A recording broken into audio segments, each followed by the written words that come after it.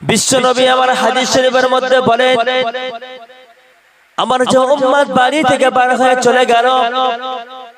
বাড়ি আপনার কাছে হোক বা বাড়ি আপনার দূরে হোক আপনি বাড়ি থেকে বার হয়ে চলে গেলেন আপনি বাড়ি থেকে বার হলেন জ্ঞান অন্বেষণ করার জন্য। মাহফিল শোনার জন্য বাড়ি থেকে বার হয়ে গেলেন। আপনার সম্পর্কে নবী কি বলেন? আল্লাহ নবী হাদিস শরীফের মধ্যে বলেন মান খরাজা ফি বাইতিহি লিয়াতলুবাল ইলমা। আল্লাহর নবী বলেন আমার যে উম্মত বাড়ি থেকে বার হয়ে চলে গেল। বাড়ি থেকে বার হলো মাহফিল শোনার জন্য কোরআন হাদিস শ্রবণ করার জন্য আল্লাহর নবী বলেন, ফাহুয়া ফি সাবিলিল্লাহ। আল্লাহর নবী বলেন, আমার যে উম্মত বাড়ি থেকে বার হয়ে চলে গেল। মাহফিল শোনার জন্য, কোরআন শোনার জন্য বিশ্ব নবী আমার জানিয়ে দেন, ফাহুয়া ফি সাবিলিল্লাহ। আমার ওই উম্মতটা আল্লাহর রাস্তায় পথিক। একবার জোরে জোরে বলেন না, সুবহানাল্লাহ। বিশ্ব নবী আমার বলেন, আপনার বাড়ি কাছে হোক বা দূরে আপনি মাহফিল শুনতে আসলেন। আপনি এখন আল্লাহর রাস্তার পথিক এই অবস্থায় যদি আপনার মৃত্যু ঘটে যায়, এই অবস্থায় আপনার যদি কোনো অ্যাক্সিডেন্ট ঘটে যায়, আমার বাড়ি সুন্দরবন, আমার বাড়ি সুন্দর এলাকা, ওখান থেকে আমি জার্নি করে আপনাদের এখানে আসলাম। আমার রাস্তা যদি কোনো রকম দুর্ঘটনা ঘটে যায়, আমি হয়তো বাড়ি আর না ফিরতে পারি। আল্লাহ যদি কারও নসিবে রাখে, আপনি বাড়ি থেকে আসলেন মাহফিল শোনার জন্য। আপনি আর বাড়িতে ফিরতে পারিলেন না। রাস্তার মাঝখানে মৃত্যু হয়ে গেল।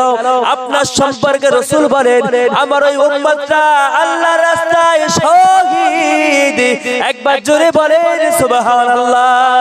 আল্লাহ নবী আমার বলেন, বিশ্ব নবী আমার জানিয়ে দেন, ওই যে উম্মত বাড়ি থেকে বার হলো জ্ঞান অন্বেষণ করার জন্য। ফাহুয়া সাবিলিল্লাহ। আমার ওই বান্দাটা, আমার ওই উম্মতটা আল্লাহ রাস্তায় পথিক, আল্লাহর আল্লাহর রাস্তায় চলতে থাকছে। আল্লাহর রাস্তায় সে এখন রয়েছে। এই অবস্থায় কারও যদি মৃত্যু হয়ে যায়, আল্লাহ তার জন্য শহীদের সওয়াব দেবেন। একবার জোরে জোরে বলেন, সুবহানাল্লাহ। কতটুকু কতক্ষণ পর্যন্ত এই সওয়াব পাবেন? নবী আমার বলেন, হাত্তা আল্লাহর নবী বলেন, আপনি গেটের বাইরে পা বাড়ালেন, আপনার গেটের বাইরে পা, আপনার বাড়ির গেটের বাইরে পা রাখলেন। যতক্ষণ না পর্যন্ত গেটের মধ্যে পা না রাখবেন। আপনি আল্লাহর রাস্তার পথিক।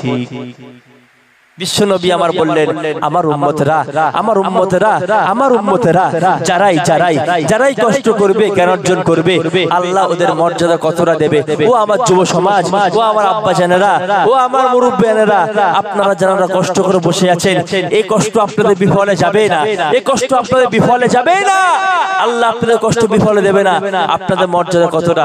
বিশ্ব নবী আমার বলেন আমার যে উম্মতরা বাড়ি থেকে বার হলো মাহফিল শোনার জন্য আমি রসুল জানিয়ে দিলাম আমি রসুল জানিয়ে দিলাম, এই বান্দা আল্লাহর রাস্তায় পথিক, ওই বান্দা আল্লাহর রাস্তায় চলতে থাকছে।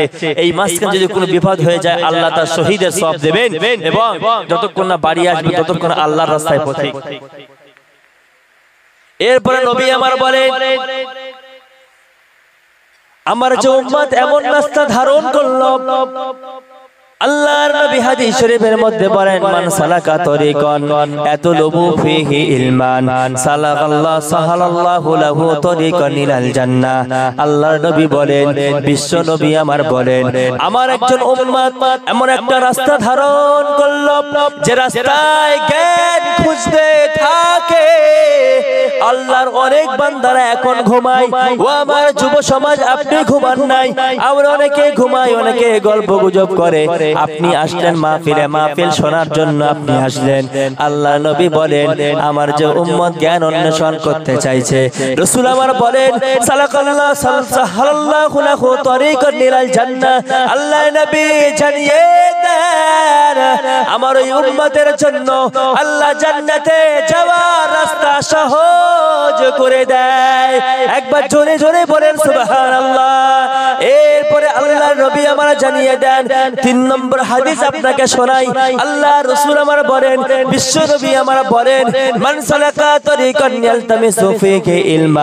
আমার একজন বাড়ি থেকে হয়ে চলে আমার একজন বাড়ি থেকে হলো করার জন্য বোঝানোর জন্য আপনাকে বলি, আপনার রাজারহাট চৌমাথায় আসার জন্য অনেক দিক দিয়ে রাস্তা আছে। রাজারহাট চৌমাথায় আপনি আসবেন।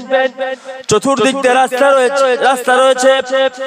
যে কোনো রাস্তা একটা আপনি ধরলে আপনি চলে আসবেন রাজারহাট চৌমাথায়। আল্লাহ নবী আমার বলে আমার যে একজন উম্মাদ এমন একটা রাস্তা ধারণ করল। আমার একজন উম্মাদ এমন একটা রাস্তা ধারণ করল যে রাস্তাতে আল্লাহর জ্ঞান অন্বেষণ করতে চায়। রসুল রসুল আপনার মর্যাদা বোঝাতে গিয়ে বলেন বিশ্ব নবী আমার আপনার মর্যাদা বোঝাতে গিয়ে বলেন, আল্লাহর নবী আমার জানিয়ে দেন, বিশ্ব নবী আমার জানিয়ে দেন, আল্লাহর হাবিব জানিয়ে দেন।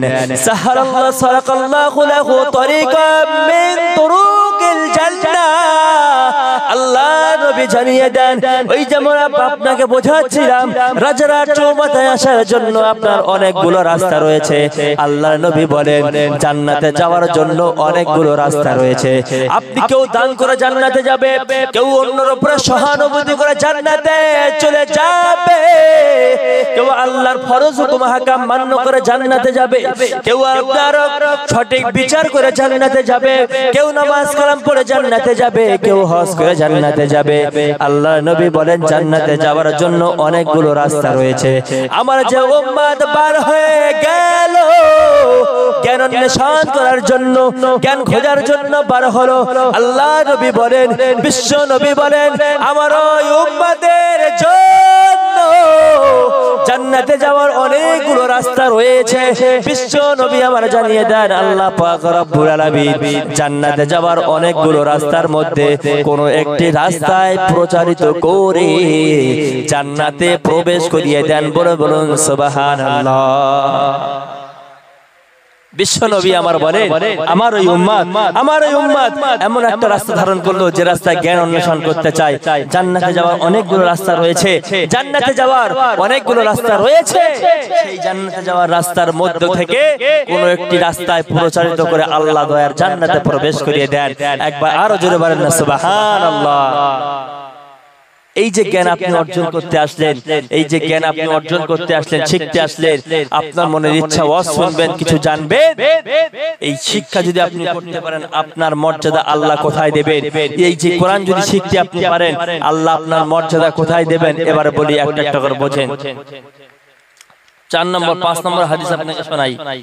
সাহাবীর নাম ওমর ফারুক রাদিয়াল্লাহু তাআলা আনহু ওমর ফারুক রাদিয়াল্লাহু তাআলা আনহু রসুল্লাহর ইন্তেকালের পরে কথাটা খুব মনোযোগ দিয়ে শুনবেন। কথাটা খুব ধ্যান দিয়ে শুনবেন। রসুল্লাহর ইন্তেকালের পর বিশ্ব নবীর ইন্তেকালের পর আল্লাহ রসুল যখন চলে গেলেন পৃথিবী থেকে, একের পরে এক, একের পরে এক খলিফা পদে বসতে বসতে ওমর ফারুক যখন খলিফা হলেন, অর্থাৎ ওমর ফারুক যখন মুখ্যমন্ত্রী হলেন, ওমর ফারুক মুখ্যমন্ত্রী হলেন, আর তিনি জানাকে এমএলএ বানালেন, তার নাম হলো নাফে। মুখ্যমন্ত্রীর নাম হচ্ছে ওমরে ফারুক, আর তিনি জানাকে আপনার এমএলএ বানালেন তার নাম হলো নাফে। হাদিস শরীফের বর্ণনা আপনাকে শোনায় যুব সমাজ আমার আপনি যদি কোরআন শিখতে পারেন কোরআনের জ্ঞান অর্জন করতে পারেন। আপনার আল্লাহ আপনার মর্যাদাটা কোথায় পৌঁছে দেবেন? আল্লাহ আপনার মর্যাদাটা কতটা দিয়ে দেবেন? আমি একটু আপনাকে বলি শোনেন। আহাদিস শরীফের বর্ণনা লাকিয়াহু ওমর বিন উসমান। আল্লাহ নবী সাহাবী হযরত ওমর ফারুক রাদিয়াল্লাহু তাআলা আনহু। মুখ্যমন্ত্রী এর এমএলএ হলো না পেয়ে উসমান নামক জায়গায় সাক্ষাৎ হয়ে গেল। সাক্ষাৎ যখন হয়ে গেল ওমর ফারুক জিজ্ঞাসা করছে, না ফেকে। অর্থাৎ মুখ্যমন্ত্রী জিজ্ঞাসা করছে এমএলএ কে ও এমএলএ, বলো না মানিস্তাখলাফতা আলা আহলিল বাদি ও না ফে, বলো না। ও এমএলএ, বলো না, তোমার গ্রাম্য এলাকায় তুমি মেম্বার অথবা প্রধান কাকে বানালে? মেম্বার অথবা প্রধান তুমি কাকে নিযুক্ত করলে? ওই নাফে উত্তর দিয়ে দিল, আমিরুল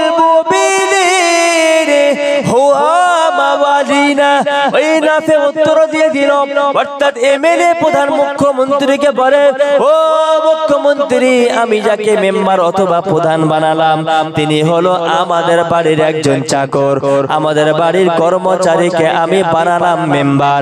আমাদের বাড়ির কর্মচারীকে আমি মেম্বারের অথবা প্রধানের পথে বসালাম।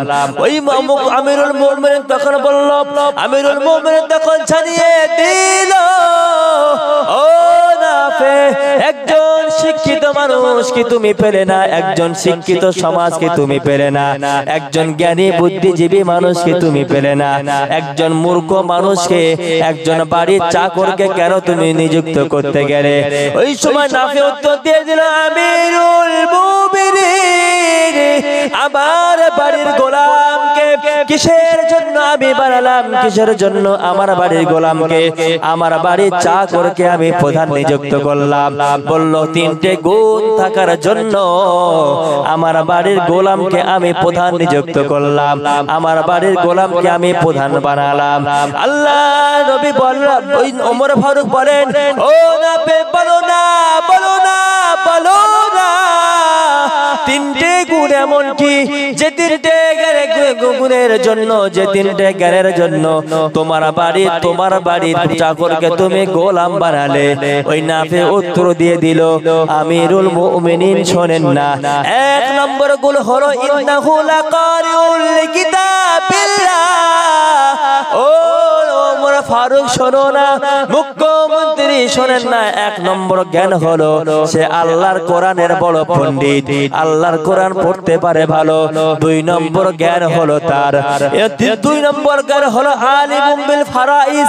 সে ফারাইজ বিদ্যায় বড় জ্ঞানী। তিন নম্বর জ্ঞান হলো সে কোরআন পড়ে, কোরআনের মানে পড়ে, কোরআনের মানে পড়ে পড়ে একজন ভালো বিচারপতি বিচার করতে পারে। এক নম্বর গুণ হলো কোরআন পড়তে পারে। দুই নম্বর গুণ হলো বিচার করতে পারে। তিন নম্বর গুণ হলো ফারাইজ বিদ্যায় ভালো জ্ঞানী। এই তিনটে গুণ থাকার জন্য আমি তাকে আমার ওয়ার্ডের বানালাম। এই কথা যখন বললেন, আমিরুল মুমিনিন তখন বললেন, ও নাফে, শোনো না। আমা ইন্না নাবিয়াকুম সাল্লাল্লাহু আলাইহি ওয়াসাল্লাম কল। বললেন শোনো না। বিশ্ব নবী বলেছেন আল্লাহর নবী বলেছেন, আল্লাহর হাবিব বলেছেন, কোরআন যে পড়বে, কোরআন যে সঙ্গে ধারণ করবে, কোরআন যে নিজের জীবনে বাস্তবায়ন করবে, আল্লাহর হাবিব বলেন, দয়ার নবী বলেন, কোরআন যে নিজের জীবনে বাস্তবায়ন করবে, কোরআন যে পড়বে, আল্লাহ তার মর্যাদা বাড়িয়ে দেবে, বলুন জোরে সুবহান আল্লাহ আর জোরে বলেন না সুবহান আল্লাহ দরুদ শরীফ আল্লাহুম্মা, বলব একটু একটু আগে আসেন, আগে- আসেন। একটু আগে আসেন, সামনে খারাপ আপনার খালি হচ্ছে আগে আসেন একটু। আলহামদুলিল্লাহ একটু প্লিজ বলব, একটু আগে আগে আসেন। আমার সামনে চলে আসেন। কাছে আসুন, মায়া বাড়ুক, কাছে আসুন, সামনে আসুন। সামনে সামনে সরে আসুন। সুবহানাল্লাহ আলহামদুলিল্লাহ ওয়ালা ইলাহা ইল্লাল্লাহ আল্লাহ নামের জিকির করবে যারা। আল্লাহর কাছে প্রিয় তারা। আল্লাহ নামের জিকির করবে যারা।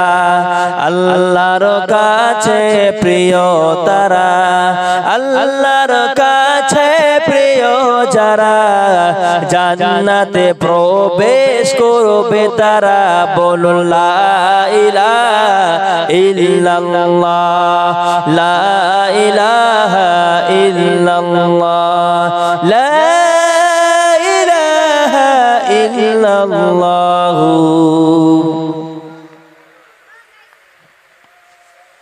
প্রিয় শ্রোতা মণ্ডলী আমার আমি আপনাকে বোঝাচ্ছিলাম এই কোরআন যদি আপনি সঙ্গে ধরতে পারেন কোরআন যদি আপনি মানতে পারেন আল্লাহ আপনার মর্যাদা বাড়িয়ে দেবেন।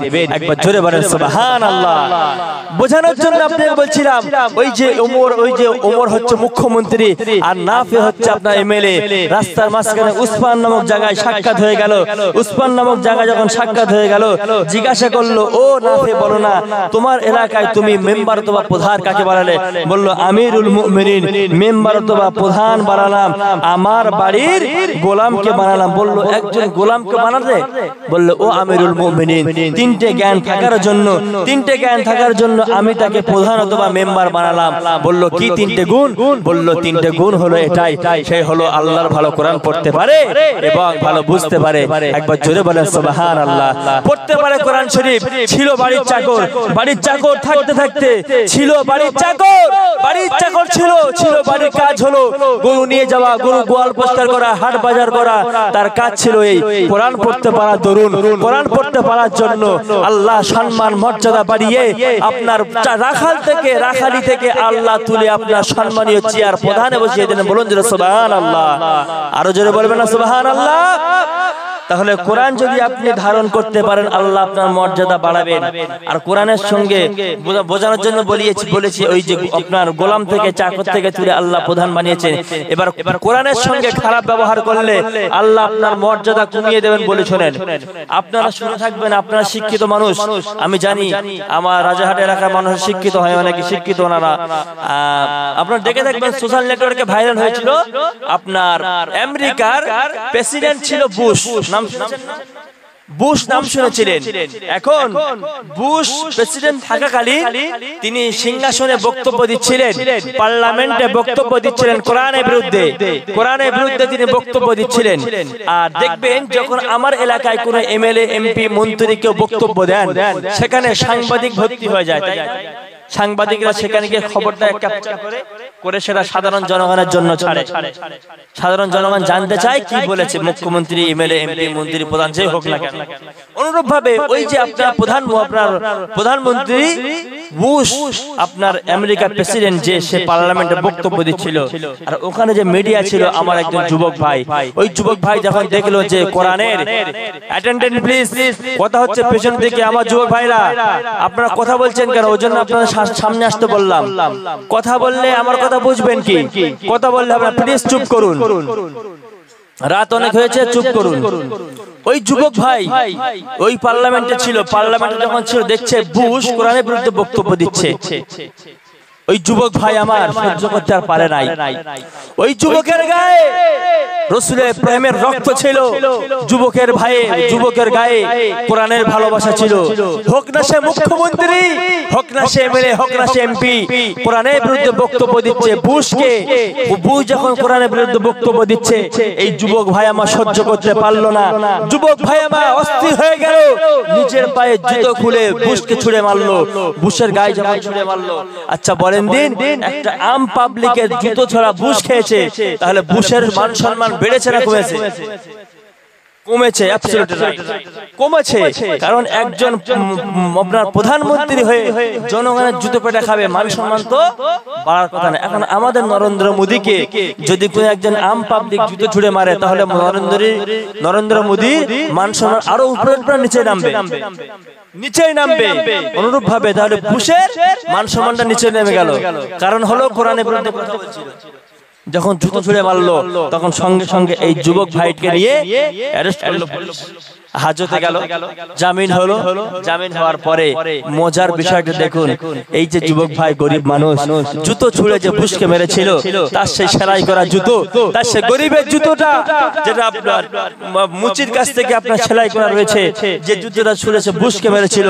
এই বেচারা কোর্টে জামিন হওয়ার পর বার হয়ে- যখন বার হয়েছে বার হয়ে দেখে তার সেই জুতোটা যেটা ছুঁড়েছে বুশকে মেরেছিল খোদার রহমতে আল্লাহর বরকতে সেই গরিবের জুতোটা দশ লক্ষ টাকা বিক্রি হয়েছে। বলুন জোরে সুবহান আল্লাহ জোরে বলবেন না সুবহান আল্লাহ না দেখবি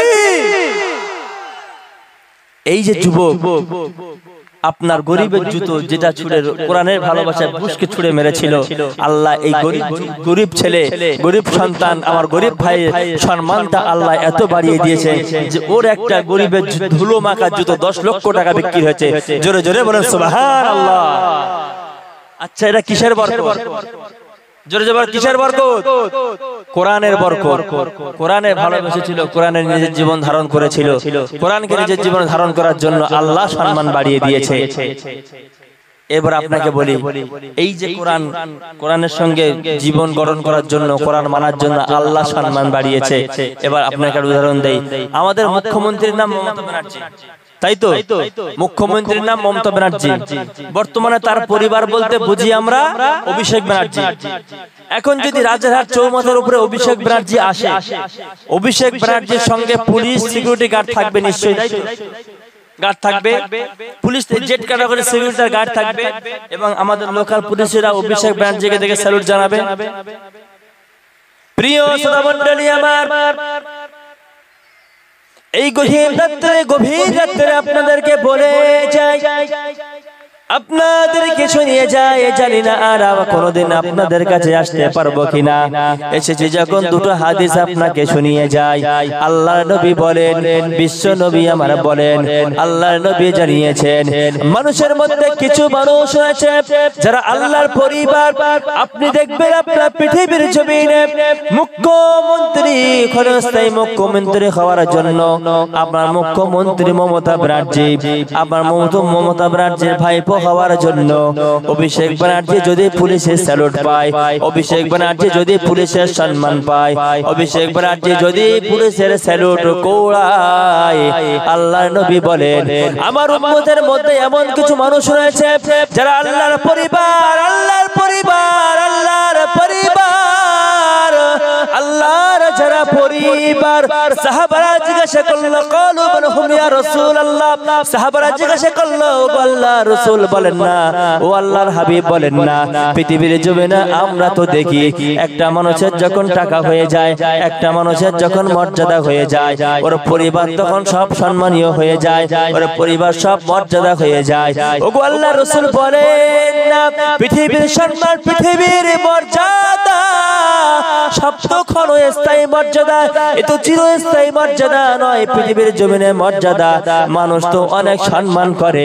ওগো আল্লাহর রসুল বলেন না, আল্লাহর পরিবার কারা? আল্লাহর পরিবার কারা বলেন না? এত সম্মানের অধিকারী কারা? ক্ষণস্থায়ী মুখ্যমন্ত্রী হওয়ার জন্য।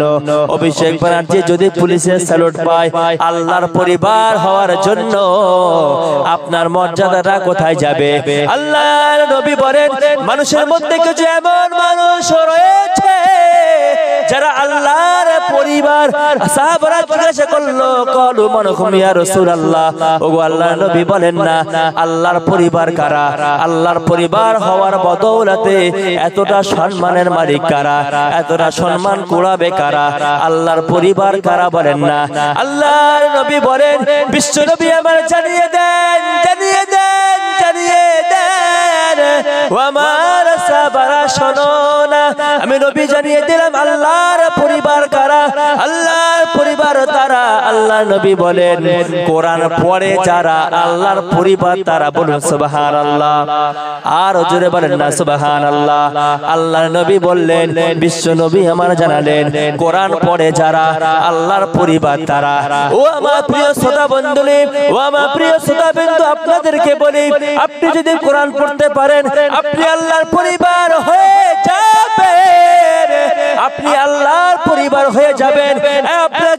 বোঝাচ্ছিলাম ক্ষণস্থায়ী মুখ্যমন্ত্রী হওয়ার জন্য। তারা যদি পুলিশের স্যালুট পায় যে পুলিশের স্যালুট করায়। ও যুবক ভাই আমার ও আমার আব্বা জানেরা ও আমার মুরব্বিয়ানে কেরামেরা। আপনি যদি আল্লাহর পরিবার হয়ে যান ফারিস্তারা আপনাকে স্যালুট জানাবে বলুন সুবহানাল্লাহ। আল্লাহ রসুল বললেন পৃথিবীর জমিনে কিছু এমন মানুষ আছে যারা আল্লাহর পরিবার সাহাবারা জিজ্ঞাসা করলেন ইয়া রসুল আল্লাহ বলেন না আল্লাহর পরিবার কারা? পৃথিবীর জমিনে আল্লাহর পরিবার কারা?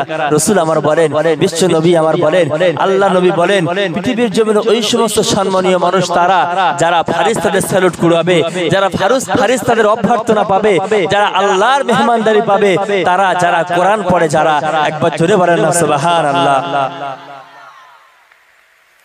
তাহলে আপনি যদি কোরআন পড়েন আপনি যদি কোরআন শেখেন আপনি যদি কোরআন ধারণ করেন তাহলে আল্লাহ আপনার মৃত্যুর পর আপনার মৃত্যুর পর আল্লাহ ফারিস্তাদের স্যালুট আপনি পেয়ে যাবেন। আল্লাহ কবুল করেন বলুন যে আল্লাহ একজন ক্ষণস্থায়ী মুখ্যমন্ত্রী হওয়ার জন্য যদি তার পরিবার এমন সম্মান লাভ করে স্যালুট জানায়। আল্লাহ রসুল বললেন আল্লাহর পরিবার যারা আল্লাহ রসুল বললেন ইন্না লিল্লাহি আহলিনা মিনান নাস। মানুষের মধ্যে এমন মানুষ যারা আল্লাহর পরিবার সাহাবরা জিজ্ঞাসা ও রসুল বলেন না আল্লাহর পরিবার কারা? নবী আমার বলেন কোরআন পড়ে যারা আল্লাহর পরিবার তারা আর যদি বলেন না সুবাহান আল্লাহ। প্রিয় শ্রোতামণ্ডলী আমার এই কোরআন সম্পর্কে আল্লাহ নবী বলেছেন আমার একজন উম্মাত নামাজ পড়ে, হজ করে জাকাত দেয়। আমার একজন উম্মাত তাসবিহ তাহলিল পড়ে, কিন্তু কোরআন পড়তে পারে না। অপরজন অপরজন আমার অপরজন আমার মুমিন। আমার মুমিন উম্মাত যে কোরআন পড়তে পারে। কোরআন পড়তে পারে, নামাজ পড়ে। একজন আপনার ইমানদার হলো, সে কোরআন পড়তে পারে না। আরেকজন ইমানদার যে কোরআন পড়তে পারে। এই দুজনার উদাহরণটা কেমন? যে কোরআন পড়তে পারে ওর মর্যাদাটা কেমন? যে কোরআন পড়তে পারেন না ওর মর্যাদাটা কেমন? আল্লাহ নবী বলেন বিশ্ব নবী আমার জানিয়ে দেন সাত নম্বর হাদিস আপনাকে আমি শোনাই।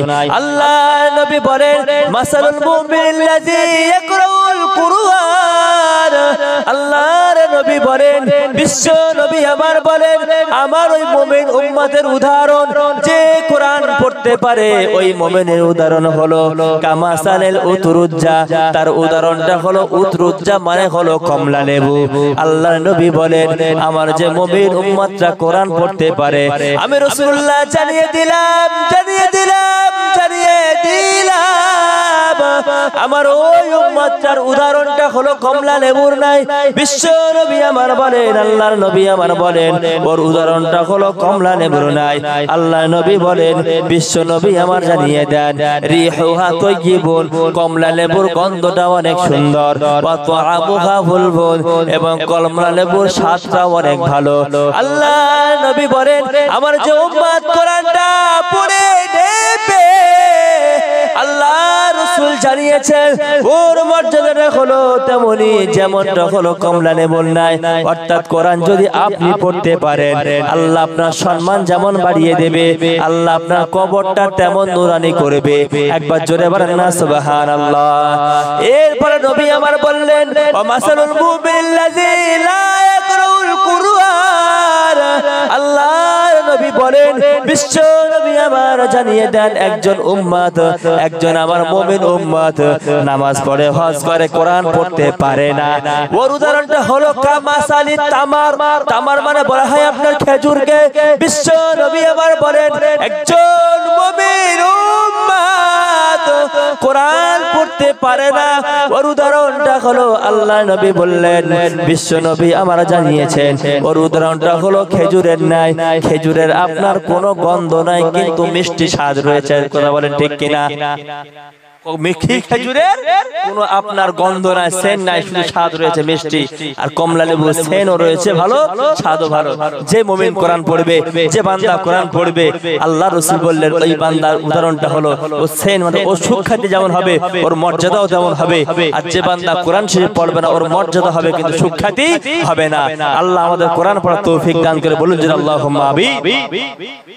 আমি আপনাদের কাছে নিবেদন করব।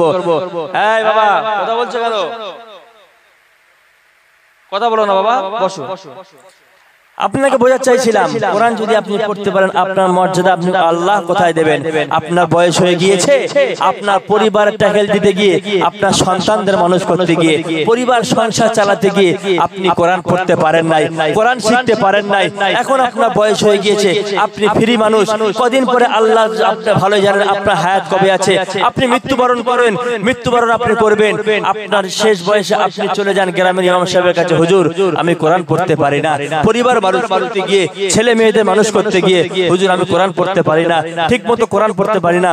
হুজুর গো একটা বার কোরআন নামাজ শিখিয়ে দেন, কোরআনটা শিখিয়ে দেন, আল্লাহর কসম করে বলি, আমি রাজমুল আল্লাহর কসম করে বলি, কোরআন যদি আপনি শিখতে পারেন, আল্লাহ আপনার মর্যাদা কোথায় পৌঁছাবেন? কোরআন যদি আপনি শিখতে পারেন, আল্লাহ আপনার মর্যাদা কোথায় দেবে?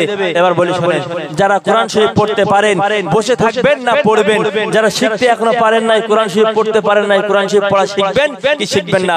ও যুব সমাজ তোমাকে বলি তুমি মত্ত খেলায় তুমি মত্ত থাকে খেলা তামাশা আড্ডায় তুমি কোরআনটা শিখে নাও শিখলে তোমার মর্যাদা কোথায় যাবে শোনো। সাহাবীর নাম সাহাবীর নাম হলো উসাইদ ইবনে হুজাইর। সাহাবীর নাম কি বলেছি? উসাইদ ইবনে হুজাইর রাদিয়াল্লাহু তাআলা আনহু। আপনাদেরকে বোঝানোর জন্য বলি দেখবেন অনেক সময় রাত্রে ঘুম ভেঙে যায়। রাত্রে যখন আপনি ঘুমিয়ে পড়লেন দশটার দিকে এগারোটা বারোটা একটা তিন ঘণ্টা ঘুমালেন। তিন ঘণ্টা ঘুমানোর পরে আপনার ঘুমটা ভেঙে গেল। ঘুমটা যখন আপনার ভেঙে গেল দেখবেন আপনার পরিবার ঘুমিয়ে রয় আপনার সন্তান ঘুমিয়ে রয় আপনার মেয়ে ঘুমিয়ে রয় আপনার স্ত্রী ঘুমিয়ে রয় আপনার বাড়ির চতুষ্পদ মানুষ ঘুমিয়ে রয়। এই যে রাতের অন্ধকারে আপনার ঘুমটা ভেঙে গেল আর দেখবেন চেষ্টা করে ঘুম আসে না গাহাত পা জ্বালা জ্বালা করে আপনার শরীরটা অসুস্থ অসুস্থ হয় ঘুমাতে চেষ্টা করেন কিন্তু ঘুম লাগে না এরকম হয় কি হয় না? অনেক সময় হয় না? আল্লাহ নবী সাহাবী উসাইদ ইবনে রাদিয়াল্লাহু তাআলা আনহু অন্ধকারে ঘুমটা ভেঙে গেল। অন্ধকারে ঘুমটা যখন ভেঙে গেল, ওই সাহাবী আর ঘুমটা আসে না। সাহাবী আর কোন রকম চেষ্টা করে ঘুমাতে আর পারে না। ওই সাহাবী গরিব সাহাবী, ও আমার আপনাদেরকে বলি শোনেন, কোরআন যদি আপনি পড়তে পারেন, কোরআন যদি আপনি পড়েন, আপনার সঙ্গে কি ঘটনা এমন ঘটতে পারে? আপনার সঙ্গে কি এমন ঘটনা ঘটতে হতে পারে ঘটতে ঘটতে পারে। বিশ্বনবী সাহাবী উসাইদ ইবনে হুজাইর রাদিয়াল্লাহু তাআলা আনহু। ওই নবী সাহাবী রাতের অন্ধকারে ঘুমটা ভেঙে গেল। ঘুমটা যখন ভেঙে গেল, সাহাবী আর ঘুম আসে না। যতই চেষ্টা করে, কোন রকম ঘুমাতে পারে না। ঘুমটা যতই আনার চেষ্টা করে, কোন রকম আর ঘুমাতে পারে না। সাহাবী ঘুমটা বর্ণনা সাহাবী বর্ণনা করেন, গরিব সাহাবী ছোট্ট একটি বাড়ি, একদিকে স্ত্রী সন্তানদেরকে নিয়ে ঘুমিয়ে রয়। অপর দিকে বাড়ির অপর দিকে একটা ঘোড়া বাঁধা রয়। ঘোড়া রয়েছে বাঁধা একদিকে অপর দিকে পরিবারদেরকে নিয়ে শুয়ে রয়েছেন। ওই সাহাবী বর্ণনা করেন, রাতের অন্ধকারে যখন ঘুমটা আমার ভেঙে গেল, রাতের অন্ধকারে ঘুমটা যখন আমি ভেঙে গেল, আমি সাহাবী আর শুয়ে থাকিলাম না। আমি উঠে গেলাম, উঠে গিয়ে অজুটা সেরে নিলাম, অজু করে নিলাম, অজু করার পরে আমি ঘরের মধ্যে চলে আসলাম। ঘরের মধ্যে আসার পর আমি ঘরের মধ্যে যখন চলে আসলাম, আমি নামাজের পাটিটা হাতে নিলাম, আল্লাহর কোরআনটা হাতে নিলাম, আমি নামাজের পাটিটা বিছিয়ে দিলাম, আল্লাহর কোরআনটা পড়তে শুরু করে দিলাম। সাহাবী বর্ণনা করেন, আমি রাতের অন্ধকারে আমার পরিবার ঘুমিয়ে বাড়ির আশপাশে মানুষ ঘুমিয়ে রয়। কেউ জেগে নাই, সকলেই ঘুমিয়ে রয়েছে। এই অবস্থাতে আমি উসাইদ ইবনে হুদাইর রাতের অন্ধকারে কোরআন পড়তে শুরু করে দিলাম, কোরআন পড়া চালু করে দিলাম। আমি যখন কোরআন পড়া শুরু করে দিলাম, আমার বাড়ি যে ঘোড়াটা বাঁধা ছিল, ওই ঘোড়া লাফানো শুরু করে দেয়। আমি যখন আমার কোরআন পড়া বন্ধ করে দিলাম, আমার ঘোড়াটা লাফালাফি করা বন্ধ করে দিল। আমি যখন কোরআন পড়াটা আবারও চালু করে দিলাম, আমার ঘোড়াটা আবারও লাফানো শুরু করে দিল।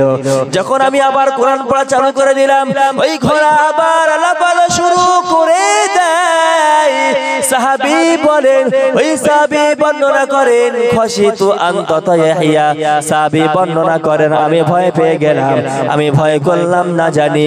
আমার ঘোড়ার লাফালাফি করার আগাতে আমার সন্তান এহিয়ার কোনো ক্ষতি হয়ে যায় কিনা? আমার সন্তানের কোনো বিমারি এসে যায় কিনা? ওই জন্য আমি আর কোরআন পড়লাম না, পড়াটা বন্ধ করে দিলাম। ওই ঘোড়া লাফানো বন্ধ করে দিল। সকাল দেখার হয়ে গেল সাহাবি দৌড়ে চলে যায়। আল্লাহ নবীর কাছে চলে যায় আল্লাহ নবীর কাছে গিয়ে বললেন, ইয়া রাসূল আল্লাহ ওগো আল্লাহর নবী বলেন না, রাতের অন্ধকারে আমার ঘুমটা ভেঙে যায়। ও শ্রোতা বিন্দু আপনাদেরকে মেন পয়েন্টটা বোঝাই। রাতের অন্ধকারে সাহাবী ঘুম ভেঙে যায়। আল্লাহ রসুলের কাছে গিয়ে বলে, ইয়া রাসূল আল্লাহ রাতের অন্ধকারে আমার ঘুমটা ভেঙে যায়। ইয়া রাসূল আল্লাহ আমার পরিবার ঘুমিয়ে রয় আমার স্ত্রী ঘুমিয়ে রয় আমার সন্তান ঘুমিয়ে রয় আমার বাড়ির আশপাশে সবাই ঘুমিয়ে রয় রাতের অন্ধকারে আমার ঘুমটা ভেঙে যায়। ইয়া রাসূলুল্লাহ আমি যতবার চেষ্টা করি ঘুমটা আমি ঘুমাতে চাই। আমার কোন রকম আর ঘুমটা আসে না। ইয়া রাসূলুল্লাহ ঘুম থেকে উঠে গেলাম আমি ওযুটা সেরে নিলাম নামাজ পাটিটা নিলাম নামাজের পাটিখানা বেছানোর পরে আমি আল্লাহর কোরআনটা হাতে নিলাম ইয়া রাসূলুল্লাহ কোরআন পড়তে শুরু করে দিলাম। কোরআন যখন আমি পড়ছিলাম, আমার বাড়ি ঘোড়া বাঁধা ছিল। ঘোড়া ঘাড়া লাফালাফি শুরু করে দিয়েছিল। আমি যখন কোরআন পড়া বন্ধ করে দেই, ওই ঘোড়া লাফালাফি করা বন্ধ করে দেয়। আমি যখন আবার কোরআন পড়া চালু করে দেই, ওই ঘোড়া আবারও লাফালাফি শুরু করে দেয়। ইয়া রাসূলুল্লাহ বুঝলামটা এমনটা হলো কেন কি? আল্লাহ রাসূল বলে সাহাবীরে একটা মারাত্মক ভুল তুমি করলে, একটা ভীষণ ভুল তুমি করে ফেললে। সাহাবী কান্নাকাটি করে ফেললেন, সাহাবী চিন্তিত হয়ে গেলেন। সাহাবী বললেন, ইয়া রাসূলুল্লাহ ও আল্লাহ রাসূল বলেন না কেমন ভুল করেছি? নবী গো বলেন না, কি ভুল করেছি? আল্লাহ নবী বলেন, বিশ্ব নবী আমার বলেন সাবিরে সাবিরে রাতের অন্ধকারে তোমার যখন ঘুমটা ভেঙে যায় আর ঘুমাতে পারো নাই, তুমি যখন ঘুম থেকে উঠে গেলে ও জুটা সেরে নিলে, কোরআনটা নিয়ে পড়তে শুরু করেছিলে, ওই ঘোড়া লাফালাফি শুরু করে দেয় কেন জানো? সাবি বললে বলেন ইয়া রাসূলুল্লাহ, আল্লাহ রাসূল বলেন সাবিরে রাতের অন্ধকারে তুমি যখন কোরআন পড়ছিলে, তোমার কোরআন পড়াটা এত পরিমাণ মধুর ছিল, এত পরিমাণ সুন্দর ছিল। তোমার কোরআন শোনার জন্য আল্লাহর ফারিস তারা তোমার বাড়িতে এসেছিল। বলুন সুবহান আল্লাহ আর জোরে বলেন না সুবহান আল্লাহ আল্লাহ নবী বলেন সাবিরে ওই রাতের অন্ধকারে তুমি যখন কোরআন পড়ছিলে সাহাবীরে, তোমার কোরআন পড়াটা এত সুন্দর ছিল, এত মধুর ছিল, রাতের অন্ধকারে আল্লাহর আসমান খোলা ছিল।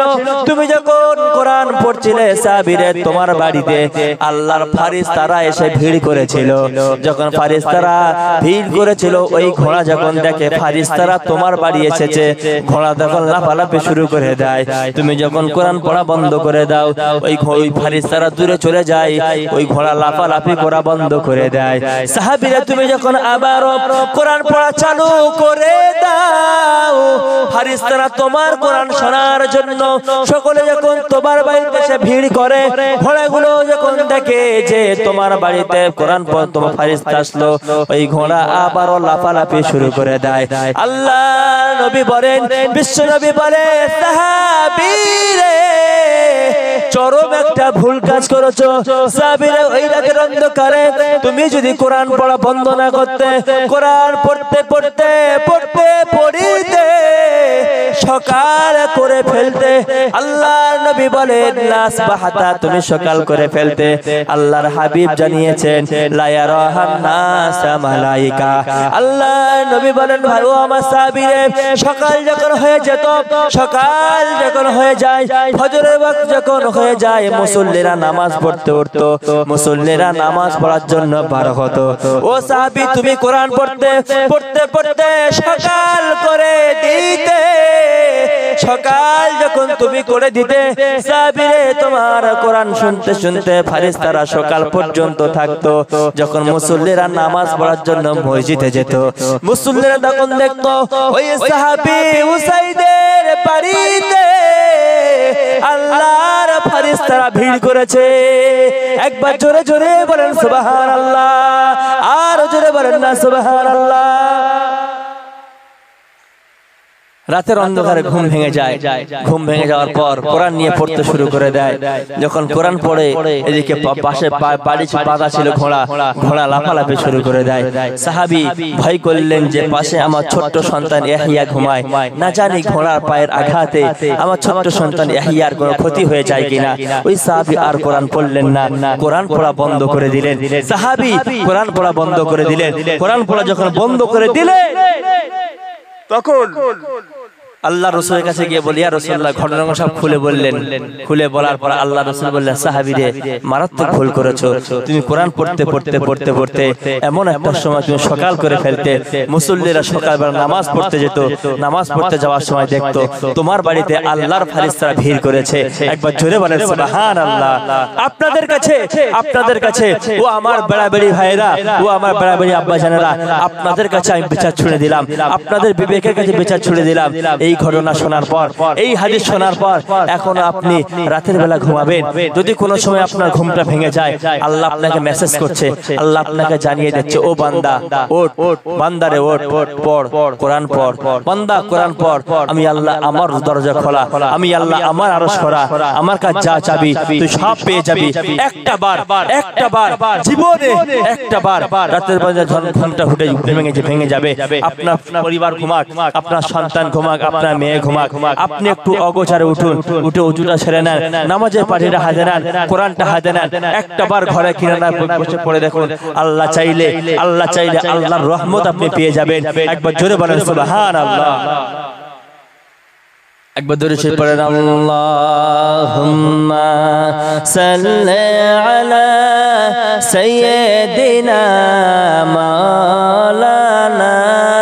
মুহাম্মদ।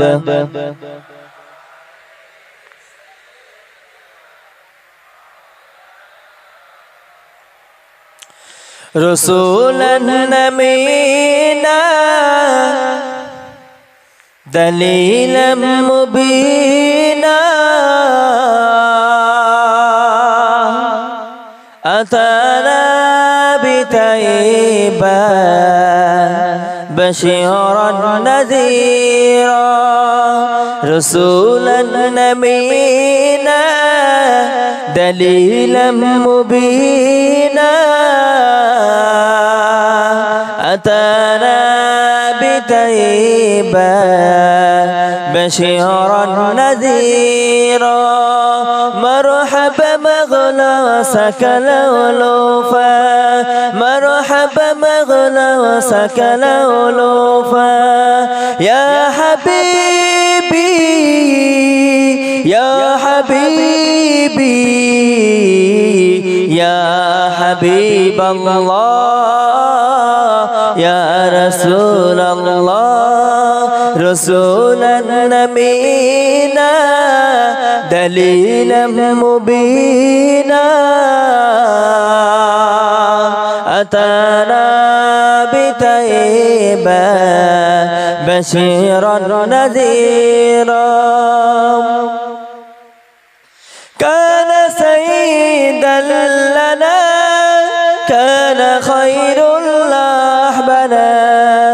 عليه دوم صلوات الله أسلم لرسول الله. برنا سبحان الله كان سيدا لنا.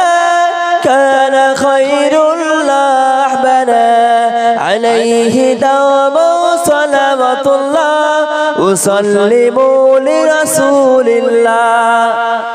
جري حبنا سبحان الله مرحبا مغلا وسكن ألوفا مرحبا مغلا وسكن ألوفا يا حبيبي يا حبيبي يا حبيب الله يا رسول الله বলুন যে আল্লাহুম্মা যে কথা বলছিলাম আপনাকে আমি কোরআন যদি আপনি পড়তে পারেন কোরআন যদি একটা নিজের জীবনে আনতে পারেন কোরআন যদি একবার শিখতে পারেন আল্লাহ পাক রব্বুল আলামিন আল্লাহ আপনার জীবনটাকে কল্যাণকামী করবেন বরকতময় করবেন একবার জোরে জোরে বলেন সুবহানাল্লাহ।